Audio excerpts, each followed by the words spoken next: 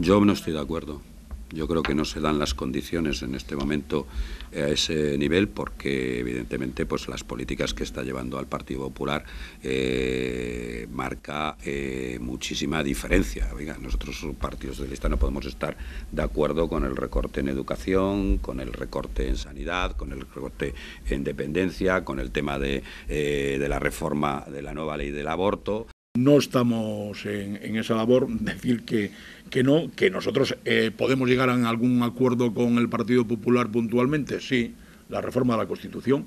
Sabe usted que nosotros encima de la mesa tenemos eh, la idea de reformar la Constitución en el tema territorial de, Cataluña, porque nos parece que el modelo federal es un modelo que podrían aceptar, eh, digamos, las fuerzas mayoritarias de Cataluña.